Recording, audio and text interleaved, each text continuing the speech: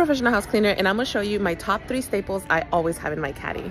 First one is Powerwash Dawn because you can clean almost anything with this. Sinks, countertops, showers, doors, etc. The list is endless.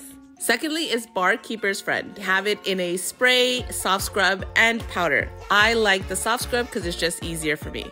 But for tougher jobs, definitely the powder. Lastly, any disinfectant. I like this one, which is Zep. I like it because it doesn't have a strong scent, but just make sure whatever you use kills 99.9% of viruses and bacteria. Another one that I really like is also this Mr. Clean because it has a very mild, good scent to it. We have it concentrated or diluted.